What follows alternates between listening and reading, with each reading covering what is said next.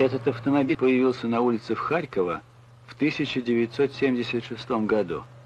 Журналисты сразу же назвали его «машиной будущего».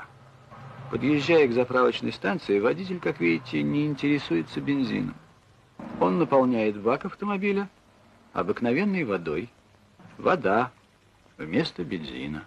Нам отвечает сотрудник Института проблем машиностроения Академии наук Украины.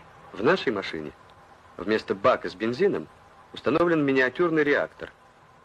В него закладывается энергоаккумулирующее вещество ЭАВ, вода вступает в химическую реакцию с ЭАВ, в результате выделяется водород. В смеси с воздухом он подается в камеру сгорания цилиндра двигателя, но дальше все как обычно.